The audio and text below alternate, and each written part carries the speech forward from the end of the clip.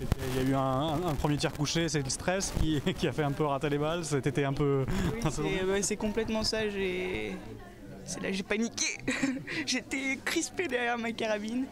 Et euh, non. euh, je, je, je peux, je peux pas vous expliquer euh, le, le pourquoi du comment, mais ce qui est sûr, c'est que sur mon, mon dernier, mon, mon dernier tir, mon- le debout, ah, j'ai serré les dents, j'ai serré les fesses et je me suis dit, putain, ma vieille, tu vas les mettre ces balles et tu vas sortir le doigt du cul.